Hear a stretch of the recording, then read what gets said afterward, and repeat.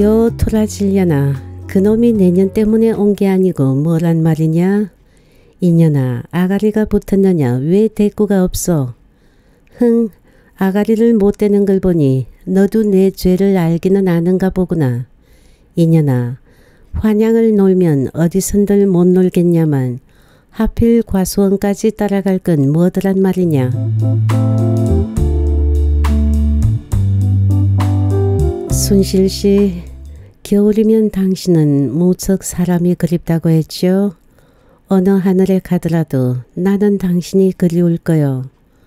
그러나 만나고 헤어지고 하는 것은 이미 우리의 힘으로는 어쩔 수 없는가 보.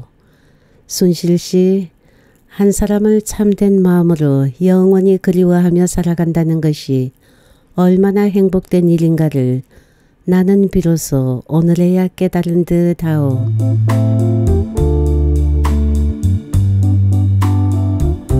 제신제 지연이 정비석 경사급한 고개를 기관차는 숨이 꺼질 듯 허덕이며 주워 오르고 있다. 고개를 다 주워 오르면 해발 800m의 고원이었다. 고원, 호흡하는 공기에조차 어딘지 모르게 무게가 느껴지고 산악지대의 특유한 운무가 지워도 지워도 차창에 연막을 드리워 인제는 유리창 너머로 바깥 경치를 바라볼 수도 없다. 차 안은 동굴처럼 공허하다. 여름철에는 피서객으로 왁실왁실 들끓던 이 철도금만 늦가을인 지금에 와서는 승객의 수요가 초저녁의 별보다도 희한하다. 텅 빈 좌석의 여기저기에 엉기성기 외로이들 앉아있는 승객은 대개가 탄권에 갚아쳐 선 시골 늙은이가 아니면 땅꼬바지에 집가다비시는 떠내기 철로 공부들이다. 함구령이라도 내린 듯 모두들 잠잠해서 차체를 통하여 울려오는 엔진 소리만이 리드미클한 소란을 계속하고 있다. 나는 아까부터 기차 시간표를 펼쳐둔 채 얼빠진 사람처럼 멍청하니 에라의 추억만을 머릿속에 더듬고 있었다. 그러다가 문득 바로 요 다음 정거장이 내가 내려야 할 Y역임을 깨닫고 튕겨 일었으며 창을 열었다. 서울보다는 계절이 동뜨게 앞서는 곳이어서 창으로 휘몰아드는 석양바람이 살을 에이는 듯 차다. 나는 잠바의 단추를 가눠 채우며 앞에 막아서는 산을 쳐다보았다. 설악산. 이 설악산을 지난 여름에 나는 약혼한 에라와 함께 이 차창으로 내다보며 피서 여행을 즐긴 것이 아니었던가. 여름 한수를 에라와 함께 즐겁게 지낸 산장으로 지금 내가 철이른 겨울에 찾아가지 않으면 안 되는 심정은 역시 그렇게라도 해서 추억을 더듬는 수밖에 다시는 에라를 만날 길이 없기 때문이다. 워낙 약질이기는 했으나 에라는 내가 산장에서 내려온 지 보름도 채 못 되어 죽었다 하니 설령 산속의 공기가 급성 폐렴에는 너무 거세였다 치더라도 내 눈으로 직접 보지 못한 이상 나는 에라의 죽음을 믿을 수가 없다. 엄숙한 사실이니 어쩔 수 없다고 쳐도 나 자신에게 타일러도 보고 또 때로는 하나를 미리 땅에 떨어져 죽지 않으면 하날 그대로 있으리라. 그러나 죽으면 많은 열매를 맺으리라고 한 신학교 3년 동안에 귀에 멍이 베기도록 들어온 성경말로 자위도 해보았으나 그처럼 신성하던 성경 구절도 이번 일에만은 아무런 효력을 나타내지 못하였다. 지금 내 트렁크 속에는 구김살조차 없는 신학교 졸업장이 들어있다. 그 졸업장을 받기 위한 마지막 시험 준비차로 나는 에라를 산장에 남겨두고 서울로 먼저 올라오지 않을 수 없었던 것이다. 그리고 시험이 끝나서 나는 졸업생만으로 편성된 순회 유세대의 한 멤버로서 제주도 등지로 설교 여행을 떠나게 되었다. 가는 곳마다 나는 그 여행이 끝나면 에라를 만날 수 있다는 오직 그 기대로 해서 열변을 토할 수 있었고 밤마다 에라의 꿈을 꾸므로 그와 함께 하느님의 충성된 사도가 되기를 굳게 서약하였다. 그렇게 두 달 반 동안의 긴 여행을 마치고 벅찬 포부에 가슴 울렁거림을 느끼며 서울 역 앞에 내렸을 때 그러나 모든 것은 허황하였다. 맨 처음 애경에게서 에라의 죽음을 들었을 순간에는 나는 참말 아무런 감정도 느끼지 못하였다. 두 달 반 동안의 유세에서 나는 거의 날마다 죽음이라는 말을 써왔던 때문인지도 모른다. 죽음이란 결코 무서운 것이 아니다. 죽음처럼 우리의 생명을 정화해 주는 것은 없다고 날마다 밤마다 나는 강단에서 외치지 않았던가. 그러나 여행에서의 흥분이 가시고 점차 관념적인 신의 세계에서 현실적인 인간으로 돌아오자 에라의 죽음에 나는 가슴 터지는 슬픔을 느끼게 되었다. 그것은 전신에 냉수를 쫙 끼얹는 듯한 슬픔이었다. 죽음이란 결코 무서운 것이 아니다고 나는 많은 청중에게 부러지졌다.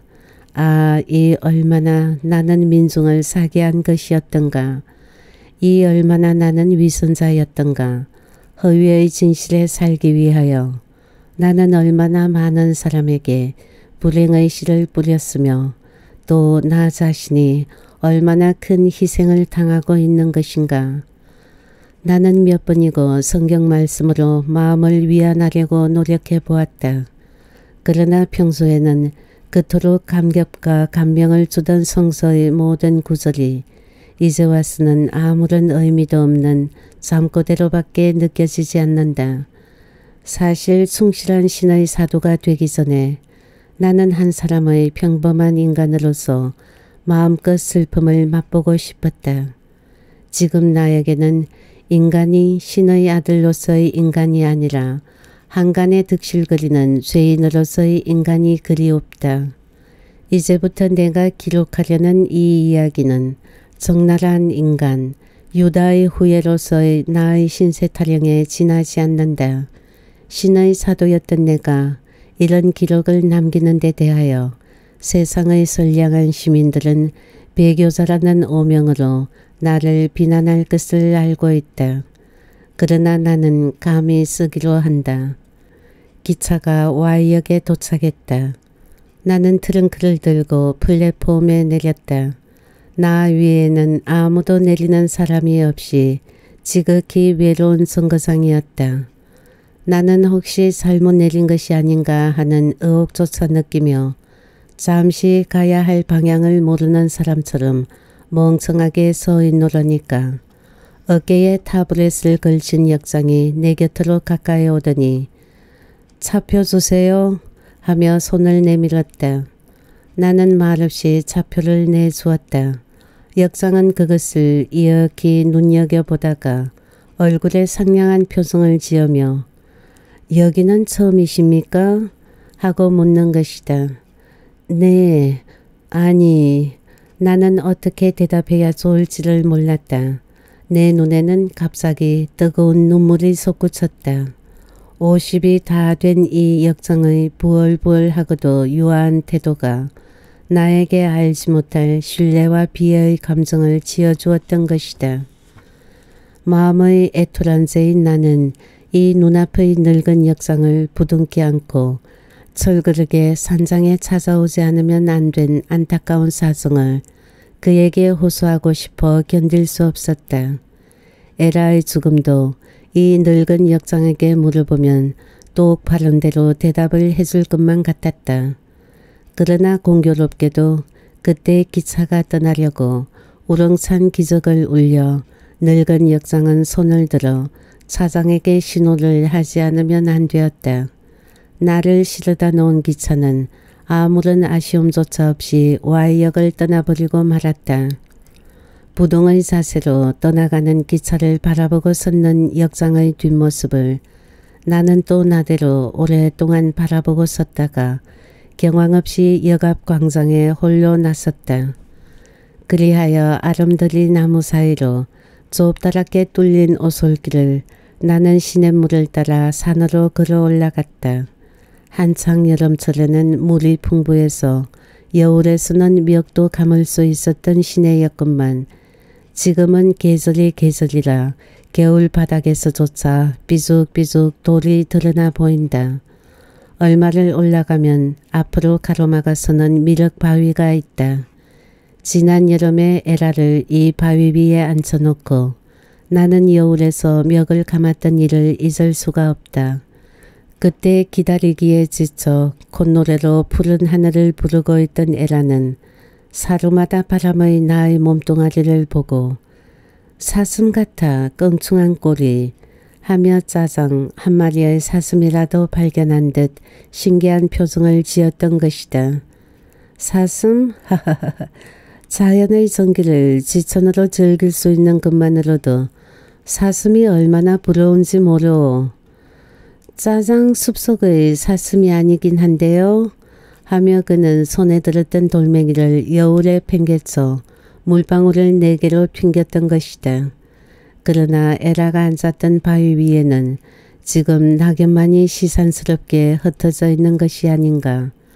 나는 발길을 멈춘 채 한참 동안 에라의 환영을 더듬다가 무심 중에 그때의 에라처럼 돌을 주어 물에 던져 보았다. 그러나 첨벙하고 공허한 음향만이 있을 뿐 다음에는 좀 더 심각한 정막뿐이었다. 나는 무거운 발길을 돌렸다. 한 그루의 나무 한 개의 돌에서조차 에라의 추억을 더듬지 않고는 배견할 수 없는 그 안타까움을 나는 조금도 피하고 싶지 않았다. 사람은 죽으면 그만이면서도 제 추억마저 빼가지 못하는 불행이 내게는 또 얼마나 행복된 일이었던가.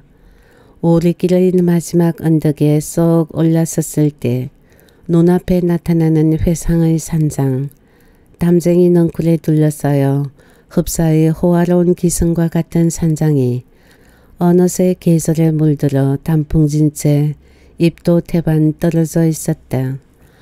뜰하게 우거졌던 코스모스도 몇날 밤 소리에 꼴사납게 시들었다. 에라가 가장 좋아하던 코스모스였고 그러므로 봄 내 여름 내 손수 가꾸며 가을의 꽃 시절을 즐겁게 기다리던 그였건만 종시 그 꽃이 피기 전에 에라는 가고만 것이었다. 죽을 날을 모른다는 것은 죽는 사람에게는 얼마나 행복된 일이겠느냐마는 그 행복이 살아있는 나에게는 또 얼마나 불행을 쌓아주는 것인가. 정원의 화초들은 마치 에라의 죽음이라도 조상하는 듯 일제히들 지질이 시들었다. 한참을 화초들과 마주섰다가 나는 불현듯 산장문을 밀어보았다. 문마다 안으로 첩첩이 걸린 채 엄숙한 침묵이다. 에라, 에라. 나는 무심코 불러보며 문을 두드렸다. 굳게 닫힌 이 산장의 어느 구석에서 에라가 지금 나를 기다리고 있는 것만 같았기 때문이다. 그러나 아무리 불러본댔자 나타나지 않는 에라임을 어찌하랴. 나는 무거운 한숨을 입속에서 깨물어 버리며 산장을 한 바퀴 돌고 나서 공막한 감성을 지닌 채 뒷 언덕으로 올랐다. 에라의 무덤을 찾기 위해서였다. 바다 바라보기를 음악보다도 좋아했던 에라였으므로 그의 무덤을 뒷 언덕 위에 묻어 주었다고 애경은 말하였다. 언덕을 오르면서 여기저기 기웃거리고 있는데 저만치서 누군가 아유 서방님 오셨어요? 한다. 산장지기 김서방의 아내 순실이었다. 순실은 내게로 걸어오며 생글 웃으려다 말고 그대로 정숙히 고개를 숙여버린다. 에라와 내가 마돈나라고 불러온 이 순박한 여인을 보자 나는 번개같이 또 한 번 에라 생각에 눈물이 솟았다. 에라를 무척 따르던 순실이었고 에라가 무척 좋아하던 순실을 만났다는 것이 내게는 슬프고도 반가운 일이었다. 순실은 비록 산장직이 김서방의 아내면서도 놀랄 만큼 이지적인 영리한 여성이었다. 에라의 죽음을 진심으로 슬퍼해 줄 사람은 나와 이 순실이와 단 둘밖에 없을 것 같이 내게는 꼭 그렇게만 믿어졌다. 순실과 나는 잠시 말없이 덤덤히 마주 서 있었다. 이었고 에라 때문에 고생 많이 하셨겠습니다. 순실이가 밤을 새어가며 에라를 간호하였다는 말을 들은 것이 문득 생각혀 나는 치아의 말을 하지 않을 수 없었다. 그러나 순실은 입을 좀 더 굳게 다문 채 아무런 대답도 없다. 간곡한 간호가 진심에서 우러나온 결과 일진된 이제 나에게 치아를 듣는 것이 오히려 순실로서는 괴로운 일임에 틀림없을 것임을 나는 뒤미쳐 깨달았다. 이었고 내가 발길을 옮기자 순실은 재빠르게 눈치를 채고 무덤으로 나를 인도하는 것이다. 에라의 무덤은 과시 서해 바다가 한눈에 굽어 보이는 다양한 언덕에 누워 있었다. 그리고 바로 그 아래가 지난 여름에 에라와 내가 최초의 포옹을 한 우리들의 영원한 과수원이었다. 순실은 흙냄새조차 새로운 무덤 앞에 오자 차마 이것이 에라의 무덤이라는 말을 못하고 그대로 고개를 수그려 버리고 만다. 저 문은 노을에 직사되어 흙빛이 좀 더 붉게 보이는 한 개의 새로운 무덤. 이 속에 정말 에라가 들어 누워 있는 것일까? 사람이 죽으면 육체는 무덤 속에서 썩고 영혼은 하늘로 올라간다고 바이블은 알려주었다. 그리고 그것을 굳게 믿어온 나였건만 오 그러나 지금 나에게는 승천한 에라의 영혼보다 눈앞의 이 무덤이 얼마나 더 절통한 비애를 쌓아주는 것인가. 이 에라지묘 라고 먹 자체도 새로운 묘포가 얼마나 나에게 슬픈 진실로 육박하는 것인가. 나는 무덤 앞에 분양하고 이 말을 조아려 절하였다. 향연을 맡으며 세 번 절하고 나자 그저야 정말 에라가 죽었다는 슬픔이 육체적으로 느껴졌다. 조수처럼 밀려드는 가슴 속의 슬픔을 감당하지 못한 채 나는 풀 위에 쓰러지며 엉엉 소리 높여 울었다. 얼마를 울었을까. 순실이가 어깨를 흔들며 깨우쳤을 때에야 나는 비로소 울고 있었던 것을 깨달았다. 그리고 나는 내가 무덤 앞에 절한 것도 그때서야 깨달았다. 그것은 내가 신을 배반하는 최초의 행동이기도 했다. 내 앞에서 다른 신을 내게 두지 말라. 십계명의 첫머리에 그렇게 씌어 있었다. 그러나 지금 나에게는 얼마나 무력한 그 말인가. 절절히 안타깝고 애타고 할 때 어떻게 무덤에라도 절하지 않고 배견할 수가 있을까. 확실히 허례일지는 모른다. 그러나 허례면 허례인 채로 그 허례가 진실로 느껴짐을 어떻게 할 도리가 없었다. 에라, 에라, 당신이 사랑하던 희순이가 여기 왔으니 어서 일어나시오. 나는 이렇게 혼잣말로 부르짖었다. 영혼이요, 영혼이 있다면 왜 말이 없는가? 나는 영혼의 실제를 보았다기보다 오히려 불려도 말없는 무덤에서 육체의 죽음을 통감하였다. 순실이가 저녁 차비로 산장으로 먼저 들어간 다음 나는 황혼이 짙어가는 무덤가에서 안타깝게 자꾸만 에라의 이름을 불렀다. 순실이가 나를 찾아 다시 무덤으로 나왔을 때에는 이미 나의 몸은 밤이슬에 촉촉이 젖어 있었다. 산장으로 돌아와 보니 순실은 영리하게도 에라가 쓰던 방을 나더러 쓰라고 깨끗이 치워놓았다. 에라가 죽던 그때의 그 모양대로 간직해둔 이 방에 들어오자 나는 또 한 번 에라의 죽음을 슬퍼하지 않을 수가 없었다. 에라가 그 위에서 운명하였다는 바로 그 침대에 누워 나는 지금 에라가 돌아오기를 헛되이 기다리며 한편으로는 어떻게 하면 에라의 뒤를 따라갈 수 있을까 하고 생각해 보았다. 서쪽 창가 피아노 위에 놓인 화병에는 아직도 시큼하게 시들어진 백상미가 꽂힌 채로 있었다. 고인은 누구를 연모하며 저 꽃을 바라보고 있었던 것일까. 병들었을 리 없는 그 마음이었건만 육체를 좀먹는 병마에게는 다시 어떻게 해볼 도리가 없었던 것일까. 저물어가는 황혼 속에 뚜렷이 솟아오르는 맞은편 산을 하염없이 바라보며 나는 에라를 그리는 무한한 향수에 잠겨져 있었다. 이었고 초열을 달이 차갑게 나의 창을 비춰주었다. 나는 호되게 놀란 사람처럼 벌떡 일어나 밖으로 달려나왔다. 그리하여 내가 정신을 차렸을 때에는 나 자신도 모르는 사이 에라 무덤의 주변을 산짐승처럼 감돌고 있었다. 다음 순간 나는 하도 어처구니 없는 나를 깨달으며 과수원으로 내려갔다. 지난 여름에 우리가 찾아왔을 때는 잎이 우거지고 가지가지에는 능금이 붉게 연글어 과수원 전체가 마치 위대한 정열 덩어리 같았는데 어느새 열매는 거두어지고 잎은 떨어진 채 달빛만이 교교히 차가워 옛 싸움터 같이 항폐해 있었다. 능금나무 아래에서 에라와 내가 최초의 입술을 나누었을 때 달은 오늘 밤처럼 밝게 비춰주었다. 그날 밤 달빛에 붉게 빛나는 능금아를 우리는 얼마나 신비로운 심정으로 바라보고 있었던 것인가. 미래를 점쳐볼 마음의 여유조차 없도록 순간의 행복에 도취하면서도 우리는 그 순간 직관적으로 영혼을 응시할 수 있었던 것이 아니었던가. 에덴 동산에서 입의 유혹에 강렬한 흥분을 느끼면서도 그러나 그날 밤 우리는 금단의 과실을 따지는 않았다. 우리에게는 영원한 행운이 있다고 느껴졌던 것이다.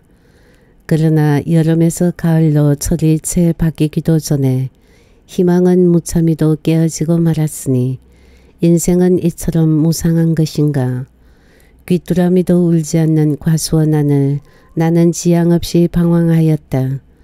그름그름에 에라의 추억만이 밟히는 듯해 잠시 나무에 기대인 채 달을 우러러 보다가 뜻하지 않고 에라 하고 불렸다. 에라가 달 속에 숨어서 나의 자태를 엿보고 있는 것만 같았기 때문이었다.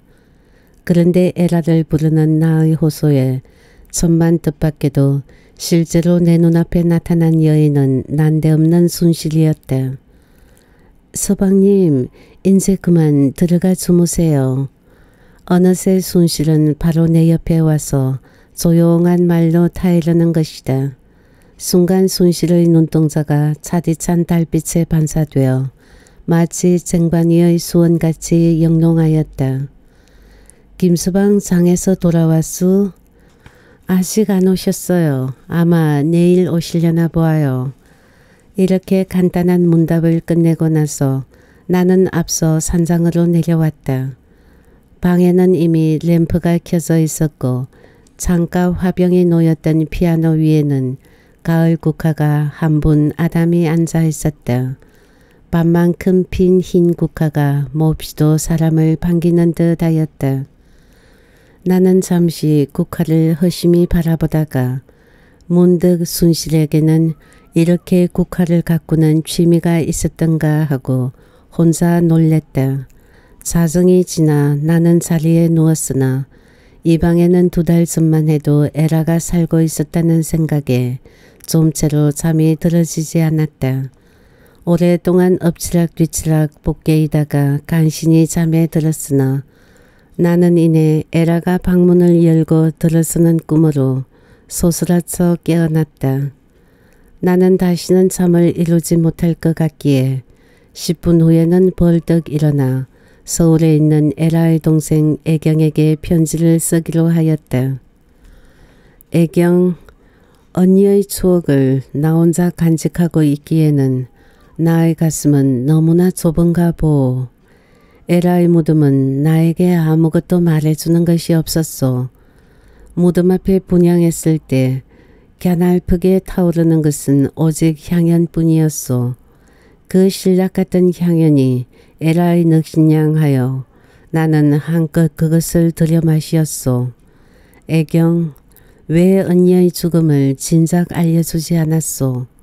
그의 죽음을 단 한 번이라도 내 눈으로 보았다면 이렇게까지 그의 죽음이 슬프지는 않았을 것이요. 지금 나는 꿈속에서 언니를 만났소. 하도 반가운 김에 팔을 벌리며 그를 맞이하려고 눈을 떴을 때 그러나 그는 이미 어디론지 사라져 버리고 말았소. 꿈이라기엔 너무나 기억이 생생하고 현실이라기엔 어처구니 없게도 모두가 허황하오. 애경 언니가 죽은 지도 오늘째 예순네 날인가 보우. 이제 나흘이면 음력으로 9월 15일이니 나는 여기서 내 손으로 에라의 생일 제사를 지내주려오. 기독교 신자가 제사가 무슨 제사냐고요? 애경에는 놀랍고도 우스울 그 일이 그러나 내게는 너무나 엄숙한 진실이요. 레위의 제사장이 비달기와 양을 잡아놓고 하나님께 제사 지내듯 인제 내가 에라에게 사랑을 표현할 수 있는 단 한 가지 길은 고인의 무덤 앞에서 제사를 지내주는 그것뿐이요. 나는 오로지 그 일로 해서 한겨울을 이 산장에서 지내기로 결심하였소. 너무나 감상적이라고 애경은 웃을 것이요. 그러나 진실이란 항상 감상적인 일면을 지니고 있다는 것을 나는 이번에 비로소 깨달았소. 이튿날 문동이 채 뜨기 전에 나는 단상을 들고 뜰에 나섰다. 꽤 차가운 아침이었다. 황폐해진 정원을 한 바퀴 휘돌아 뒷산으로 올라가려는데 조막계에서 순실이가 이리로 걸어오고 있었다. 그녀는 나를 발견하자 인사성 있게 허리를 굽히며 안녕히 주무셨어요? 과히 추우시진 않으셨어요? 하고 묻는 것이다. 나는 인사를 받고 나서 서리가 대단한데요? 하고 말하며 뜰을 살펴보았다. 간밤에는 유난히 기온이 차가웠던지 뜰에는 찬서리가 한 겹 깔려 있었고 그 때문에 엉성한 코스모스 줄기가 좀 더 추잡해 보였다. 꽃들이 죄다 시들었군요. 참 코스모스를 베어버려야겠어요. 순실은 내 기분을 알아차렸음인지 그렇게 말하며 초막으로 걸어간다.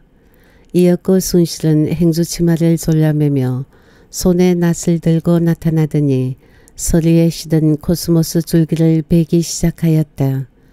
한 대 한 대의 꽃줄기가 순실의 손에 톱을 대는 것을 보고 있는 동안 나는 문득 지금 베어지는 저 꽃들은 에라의 손으로 심어진 것이었다는 것을 새삼스럽게 깨달았다. 따라서 순실은 마치 나의 가슴 속에 깃들어 있는 에라의 추억을 후려 갈기는 것만 같아 가슴이 후볐다. 정원이 마침내 혼철해졌을 때 나는 말할 수 없는 공허감에 잠기고 말았다. 인제 시원해졌죠? 순실은 낯을 땅에 놓으며 허리를 편다. 너무 허무하군요. 코스모스보다도 명년에는 들국화를 심는 게 좋을 것 같아요.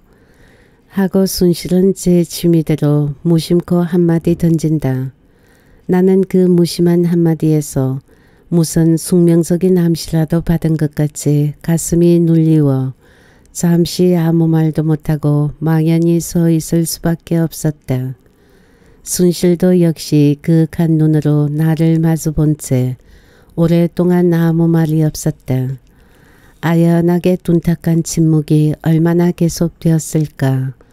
문득 에헴하는 난데없는 기침 소리에 순실과 나는 똑같이 소스라치게 놀랬다. 간신히 정신을 차리고 좌우를 살펴보니 어외에도 산장지기 김서방이 장승처럼 울타리 안에 서서 화살같이 날카로운 눈초리로 우리를 쏘아보고 있었다. 그것은 폐부를 뚫으려는 듯 날카로운 시선이었다. 나는 김서방이 순실과 나 사이를 의심하고 있음을 즉각적으로 깨닫자 잠시 어찌할 바를 몰라 쩔쩔매다가 아 김서방 인제야 장에서 오 하고 물으며 몇 발걸음 그에게로 다가갔다. 아 서방님 오셨구려. 이 어인 일입시오.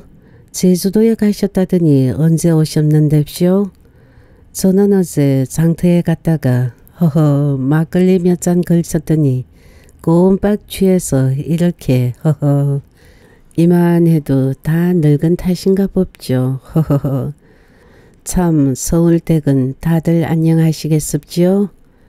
김서방은 나를 알고 금시 표정을 누그럽혀 교사스러운 너틀 웃음을 연방 웃어가며 허리를 굽신거리며 손으로 뒤통수를 쓱쓱 쓸며 수다스럽게 늘어놓는다.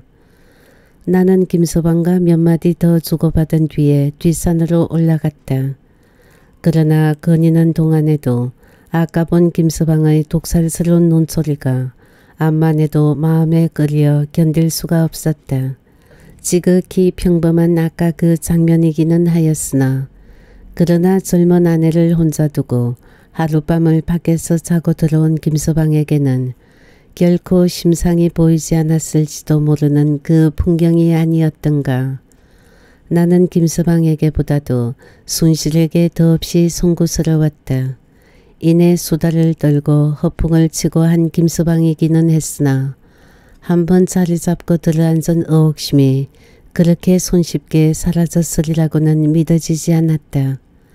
항상 불행은 부질없는 상상에서 온다고 한 아랑의 말이 기억에 떠올라 장차 순실에게 어떤 불행이 오지나 않을까 하는 상상에 나는 치가 떨렸다. 사흘이 지났다.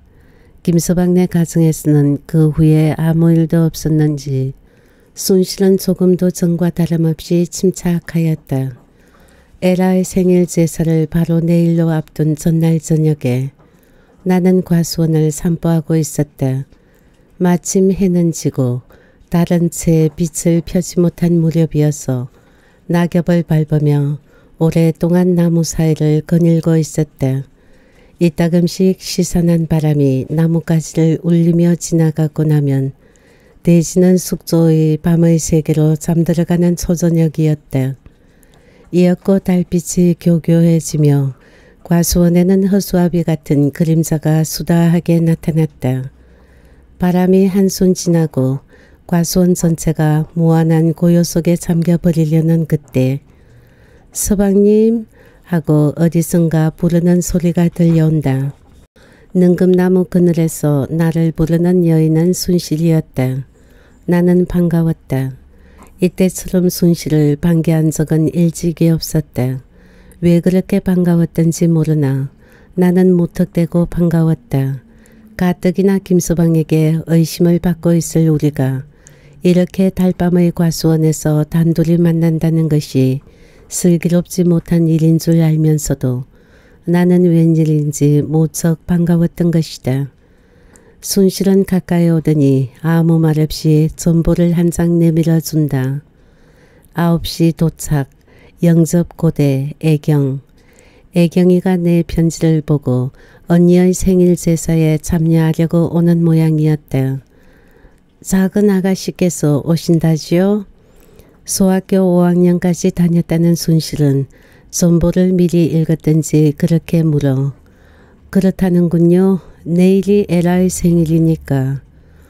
오래 계시다 가실까요? 누구를 두고 묻는 말인지 몰라 나는 잠시 머뭇거리다. 글쎄 애경은 이내 갈걸요. 나는 이 겨울을 여기서 나겠습니다만 아마 겨울 기후가 꽤 춥지요. 그렇지도 않아요. 하지만 겨울엔 눈밖에 없는걸요. 눈? 산도 들도 집도 죄다 눈 속에 묻혀버려요. 하도 눈뿐이어서 겨울이면 사람이 무척 그리워져요. 순실의 말을 듣고 있는 동안 나는 눈 속에 묻힌 산장의 지붕 밑에서 에라의 추억을 더듬으며 겨울을 기억고 여기서 나리라 결심하였다. 겨울이면 사람이 그립다는 순실을 위하였어도 그것은 보람있을 일일 것만 같았다. 겨울엔 사냥꾼이 가끔 오겠군요. 네, 서울에서 총바치들이 가끔 밀려와요. 대개 무슨 짐승들인가요?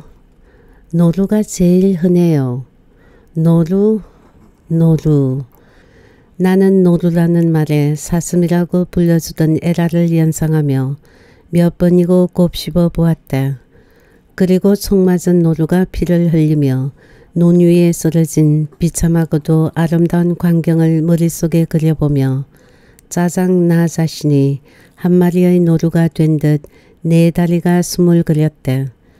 10분 후에 우리는 앞서거니 뒤서거니 산장으로 내려왔다. 정거장에 마중 나갈 시간이 되어 내가 밤길 오리를 왕복해야 할 행장을 차리고 나섰을 때 순실도 따랐으며 저도 마중 나가겠어요 한다. 뭘요 혼자 갔다 오죠. 억지로 뿌리치고 싶지는 않았으나 역시 같이 가기는 마음에 끓이어졌다. 순실은 더 따라서려고 하지도 않고 고개를 들어 나를 마주본다.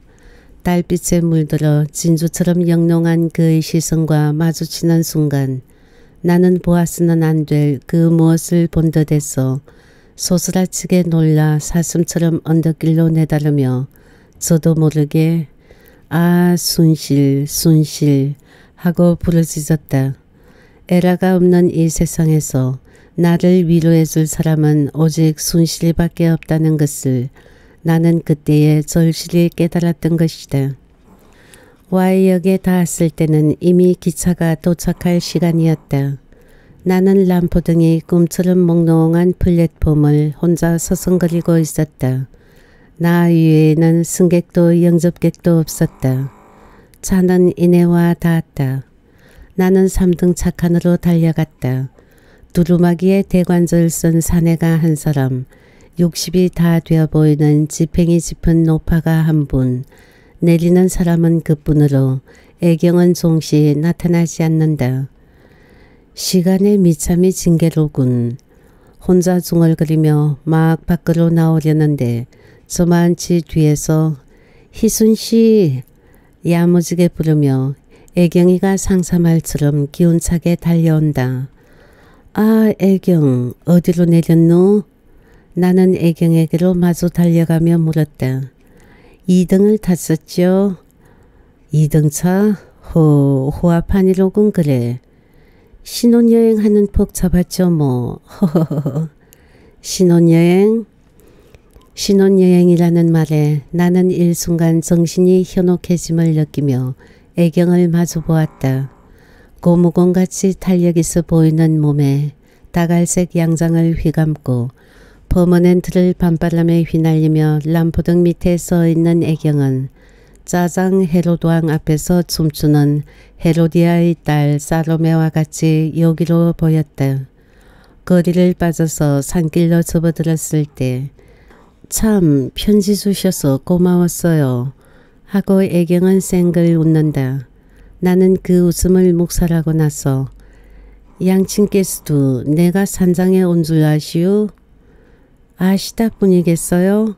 겨울을 산장에서 나신단 말씀을 들으시고 펄쩍 뛰시며 가뜩이나 약한 몸이 어떻게 그 기울을 감당해 내겠느냐고 하시며 저들을 어서 가서 데리고 오라고 그러시던데요. 말하자면 제가 특사로 온 셈이죠. 에라가 죽은 후에도 내게 대한 그들의 사랑에는 조금도 변함이 없음을 알고 나는 눈시울이 절로 달아올랐다. 서울이라고 뭐 별로 다를까요? 그러기 서울로 오시라는 게 아니라 어느 온천상이나 그런 데로 가시라는 거예요. 그리고 저들어도 함께 가서 시중을 들어드리라던데요. 온천으로 애경과 함께 나는 의외로 반문하며 명구스러워할 만치 그를 빤히 마주보았다. 애경과 나를 온천상으로 보내려는 것이 양신의 의사에서 나온 분부인지 혹은 애경 자신의 희망인지를 판단 못한 채 나는 약간의 불쾌감까지를 느꼈다. 에라를 잃어버린 슬픔을 추억 이외의 것으로 보충한다는 것은 내게는 다시 없을 모욕같이 느껴졌기 때문이었다. 지난 여름 에라와 함께 셋이 산장에 머물러 있을 때의 일이었다. 어떤 달 밝은 날 저녁에 셋이 베란다에 모여 앉아 잡담을 하고 있다가 애경은 문득 언니에게 조금도 끓이기는 일 없이 나의 팔을 잡아당겨 제 가슴에 품으며 난 이 세상에서 희순 씨가 제일 좋아 하고 농조로 찌끄린 일이 있었다. 그저 그 일뿐이었으나 그 말을 들은 에라는 그날부터 사흘 동안 구미를 잃어버리고 경황 없이 시름에 잠겨 있었던 것이다. 그때 나는 애경의 행동을 단순한 농으로 알았고 따라서 그런 데까지 신경과민할 에라를 나무랐던 것이나 이제 보면 그때의 그 일이 노상 농만이 아닌 것 같이 여겨진다. 역에서 산장에 오기까지에 애경은 언니 이름을 한 번도 입 밖에 낸 일이 없었다. 나는 부질없이 애경에게 편지 낸 것을 후회하였다. 산장에 도착하자 애경은 에라의 방에는 들릴 생각도 않고 곧장 제 방으로 달려간다. 내가 에라의 방에 한 번 들르라고 하니 아이 싫어요. 그 방보다 내 방이 좋은 걸. 어서 내 방으로 오세요. 재미있는 얘기 들려드릴게요. 하며 성화같이 나를 부르는 것이었다. 에라의 죽음을 누구보다도 슬퍼해야 할 애경이라고 믿었던 만큼 나는 적지 않이 실망을 느꼈다. 그래서 나만은 에라를 배반하지 않기 위해 여한 일이 있더라도 겨울을 이 산장에서 나야겠다고 혼자 다짐을 두고두고 하였다. 믿었던 애경이가 석 달도 채 못 가 언니를 배반하였다는 슬픈 사실에 나는 그날 밤 좀 채 잠을 이루지 못하였다. 유다가 예수를 배반한 것도 있을 수 있는 일이요. 내가 예수의 진리를 저버리는 것도 사람으로서 용응무게하겠으나 그러나 애경이가 진동긴 언니의 죽음을 석 달이 뭐다 하고 잊어버린다는 것은 암만 해도 생의 비극 같기만 하였다. 조이의 표리와 같은 것이면서 생과 사는 이렇게 격리된 두 세계일까. 나는 웬일인지 자꾸만 애경에게 반감이 가는 것을 어찌할 도리가 없었다. 따라서 밤이 깊어갈수록 신경은 점차 흥분되어 마침내 이불을 박차고 파자마 바람으로 밖으로 뛰어나갔다. 나는 심호흡으로 흥분을 가누며 에라의 무덤께로 걸어갔다. 에라는 내가 이렇게 찾아온 줄을 아는가 모르는가 홀령이 있다면 어서 나타나 나를 위무하여라고 나는 무덤가 풀밭에 쓰러지듯 주저앉았다.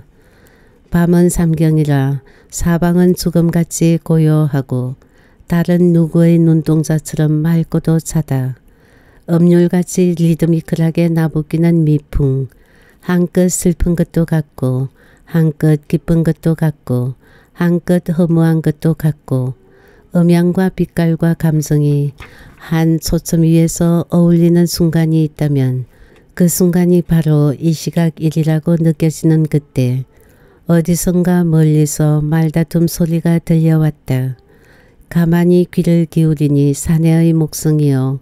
자세히 엄미하니 김서방의 고함이었다. 나는 가슴이 덜컥 내려앉음을 깨달으며 순간 저번 날의 그의 의혹에 찬 시선을 회상하였다. 나는 일어섰다. 소리의 방향을 더듬으며 머릿속에는 순실의 참혹한 주제를 상상하였다. 김서방의 초막이 가까워 오자 내 귀에는 다음과 같이 횡폭한 말이 들려왔다. 요 토라질려나 그놈이 내년 때문에 온 게 아니고 뭐란 말이냐? 어서 바른대로 실토를 해라. 목숨이 아깝거든 실토를 해. 요 능지를 할령 같으니. 이런 사나운 욕지거리와 함께 등불 빨간 창호지에 미친 두옥신 같은 그림자가 얼렁거리었다. 제일 싹 타악하고 맹렬한 폭음도 들려왔다. 김서방의 아내 순실을 치는 것이 분명하였다. 그러나 순실은 찍 소리조차 없다. 나는 가슴이 뜨끔하였다. 김서방의 울렸다 매는 꼴과 순실이가 모진 매를 맞으며 입을 악세려 물고 있는 무서운 광경이 파노라마처럼 눈에 얼린거린다. 이 주리를 틀어 죽이려나 그놈이 마시거든 썩 내 눈앞에서 없어져라. 온 베라먹을 악균형 같으니 이런 욕지거리와 함께 또 폭행과 난타가 시작된다. 이년아 아가리가 붙었느냐 왜 대꾸가 없어? 그럴 테지 무슨 대꾸가 있으려고 있거든 있는 대로 말해봐 이년아. 그러나 순실은 역시 아무 대답이 없다. 흥 아가리를 못 대는 거 보니 너도 내 죄를 알기는 아는가 보구나. 이년아 환양을 놀면 어디선들 못 논다고 하필 과수원까지 따라갈 건 뭐더란 말이냐. 하고 김수방은 살기가 등등하다. 김수방의 시선이 항상 우리의 뒤를 따르고 있었음을 알았을 때 나는 치가 벌벌 떨렸다. 겁을 집어먹어야 할 죄를 지은 것은 없지만 아무튼 내 행동이 남에게 그런 의심을 사게 되었던 사실이 무서웠던 것이다. 나는 바로 그대로 방에 뛰어들어가 그런 일이 절대로 없었다는 것을 말하고 싶었다. 그러나 그런 변명이 김수방에게는 도저히 고지 들리지 않을 뿐 아니라 제밤중에 나무 가정 싸움을 엿듣고 있은 그 일부터가 더욱 의심을 사게 될 것 같아 나는 맹렬한 충동을 간신히 억눌렀다. 생각이 여기에 미치고 보니 그들의 싸움을 중지할 수 없을 바에는 더 엿듣고 있는 것도 괴로운 일이어서 나는 얼른 내 방으로 달려오고 말았으나 도저히 잠을 이룰 수가 없었다. 겨울을 산장에서 나기로 했던 결심을 나는 포기하는 수밖에 없었다. 순실을 위하여 나는 하루바삐 이 산장을 떠나는 것이 상책이라고 깨달았다. 밤이 거진 새일 무렵이었다. 바로 옆방인 애경의 방에서 쿵 하고 바람벽 울리는 소리가 난다. 애경이가 잠결에 몸이라도 뒤채이는가 보다고 귀를 기울이고 있으려니 조금 후에는 휴 하는 한숨 소리가 들려온다. 애경은 또 무엇 때문에 지금 한숨을 쉬는 것일까? 잠잠한 몇 분이 지난 뒤였다. 희순 씨 하고 애경이가 문득 나를 부르는 소리가 들린다. 잠자고 있으려니 또 얼마 후에 희순 씨, 희순 씨 좀 더 명확한 음성이다. 나는 퍼뜩 애경의 그 고혹적인 육체가 연상되어 애경이도 이제는 어린아이가 아니라는 것을 새삼스럽게 깨달았다. 희순 씨, 희순 씨 이번에는 쿵쿵쿵 바람벽을 마구 두드리며 부른다. 애경이 왜 안 자고 그러는 거야? 나는 질책하듯 소리쳤으나 실은 나 자신에게 타이르는 경계이기도 하였다. 희순 씨, 나 무서워 죽겠어요. 내 방으로 좀 와주세요. 옆방에 사람이 있는데 무섭긴 어서 한잠 더 자요. 아직 밤이 멀었으니. 무서 죽겠는걸요. 어서 좀 와요. 애경은 몸부림까지 치는 듯하다. 마지못해 나는 일어났다. 복도로 나와 애경의 방문 손잡이를 붙잡았다. 그러나 그 순간 나는 내가 애경의 방에 들어갔다가는 반드시 무슨 일이 생기고야 말 것 같은 직감이 느껴서 이 유혹을 어떻게 하든지 이겨내야겠다는 맹렬한 자책지심이 솟아올랐다. 치가 부르르 떨린다. 나는 손잡이를 맥없이 놓았다. 어서 들어오세요. 하는 애경의 재촉이 들려온다. 나는 다시 손잡이를 붙잡았다. 바로 그때다. 우리를 시험에 들지 말게 하옵시며란 주기도문이 번개같이 머리를 스치며 나는 손잡이에서 손을 펄쩍 떼었다. 그리하여 손살같이 얼른 밖으로 뛰어나오고 말았다. 두 시간쯤 후에 다시 산장에 돌아왔을 때는 아침 해가 이미 앞산 위에 솟아 있었다. 애경과 복도에서 마주쳤으나 아침 인사도 않고 뾰루퉁에 있었다. 나는 세수를 하려고 후원 우물개로 왔다. 우물가에서 쌀을 씻고 있던 순실은 나를 보자 여느 날과 조금도 다름없이 침착하게 허리를 굽히며 인사하는데 도무지 간밤에 악행을 겪고 난 사람 같지 않았다. 다만 그의 목들 밑에에 푸릇푸릇한 자국이 보였을 뿐 인내란 이렇게까지 아름다운 것일까 하고 나는 새삼스러운 감격에 어찌하지 못하였다. 그때 김서방이 불쑥 나타나더니 서방님 안녕히 주무셨습죠? 허허 오늘은 날이 좀 누그러졌는가 봅니다. 아참 오늘이 보름이니 생일 제사를 지내야 하지요. 허 세월은 빨라서 돌아가신 지 어언간 석 달이 되었는가 봅니다. 허참. 김수방은 대꾸도 없는 말을 혼자 늘어놓는다.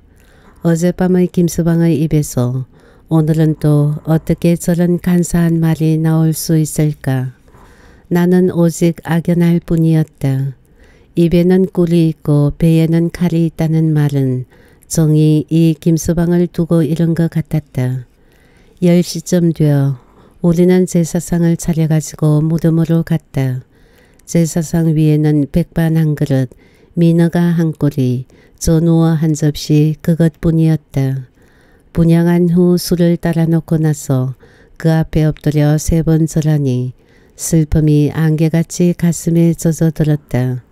순실은 소리 없이 울고 애경은 먼 하늘만 쳐다보고 있었다.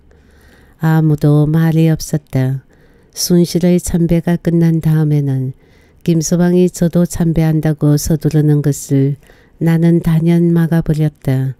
아주 단촐한 제사였으나 나는 비로소 처음 에라에게 부채를 갚은 듯 기분이 가벼워졌다. 산장으로 돌아오자 애경은 나에게 말하였다.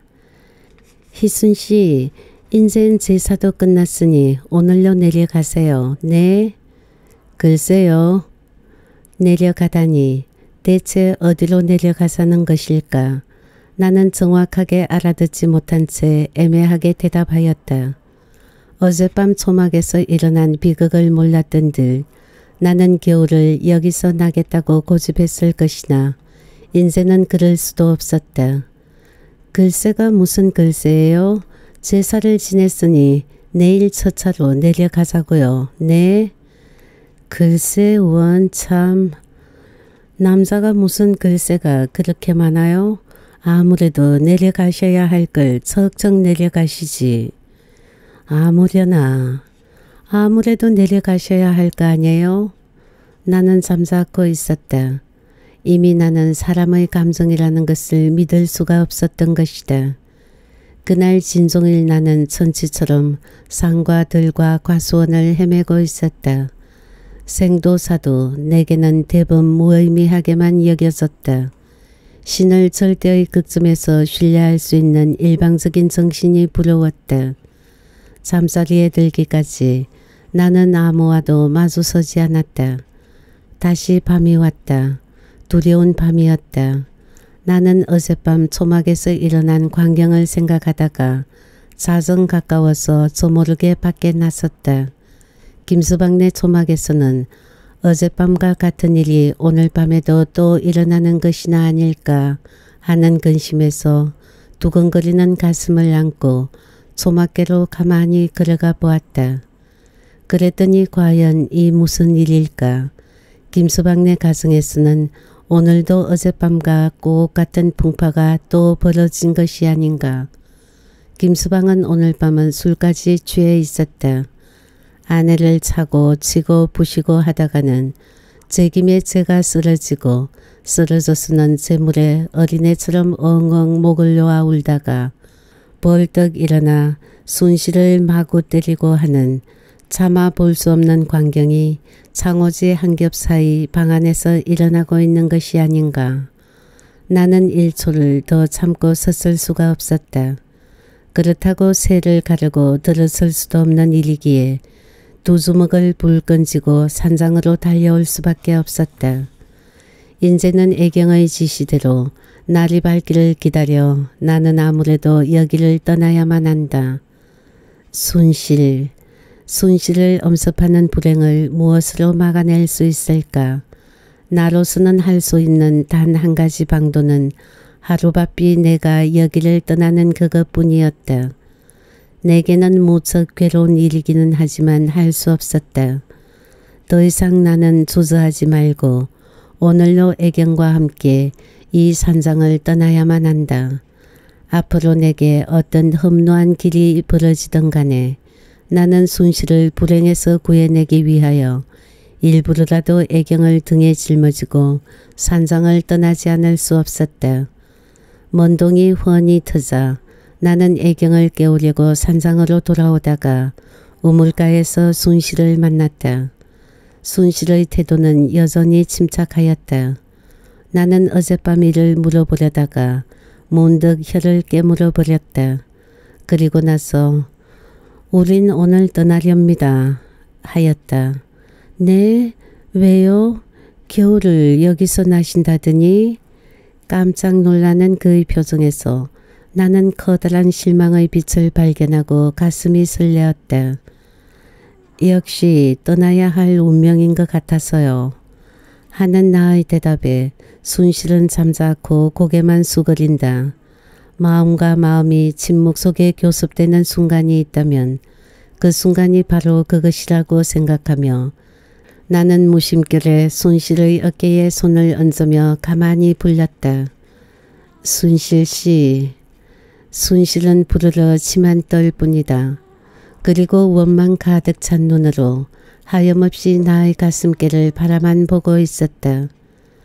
순실 씨 하고 부르며 나는 그의 손을 힘있게 붙잡았다. 겨울이면 당신은 무척 사람이 그립다고 했죠. 어느 하늘 아래에 가더라도 나는 당신이 그리울 거요. 그러나 만나고 헤어지고 하는 것은 이미 우리의 힘으로는 어쩔 수 없는가 보우. 순실은 고개만 내리뜨리고 아무 말이 없었다. 순실 씨, 한 사람을 참된 마음으로 영원히 그리워하며 살아간다는 것이 얼마나 행복된 일인가를 나는 오늘에야 비로소 깨달은 듯하오. 자, 안녕히 있으시오. 순실과 나는 나지막히 손을 붙잡았다.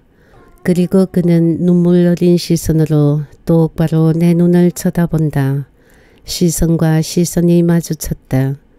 나는 잠시 순실의 눈을 황홀하게 바라보고 있다가 고요히 팔을 들어 그의 어깨를 다정하게 두들겼다. 나는 나의 행동에 아무런 죄악도 느끼지 않았다. 아니 오히려 신 앞에서 세례를 받을 때와 같이 지극히 경건하고 엄숙한 감정뿐이었다. 그리하여 드디어 나는 육과 영의 경계를 영원히 방황해야 하는 인간으로서의 숙명적인 비운을 지닌 채 조금도 슬프지 않게 산장을 떠났던 것이다.